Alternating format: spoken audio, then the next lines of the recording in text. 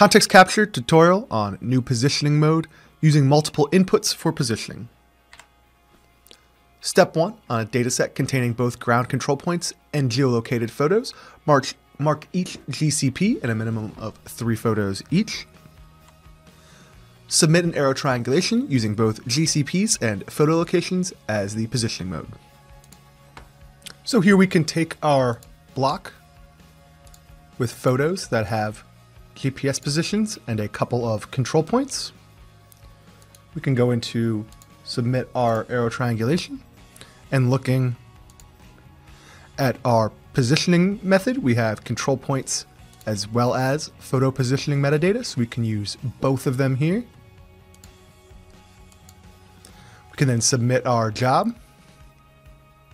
And when it completes, we can see we have our control points being used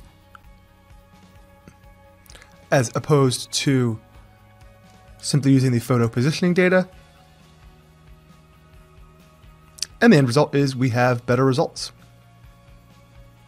And that's how you can use multiple positioning inputs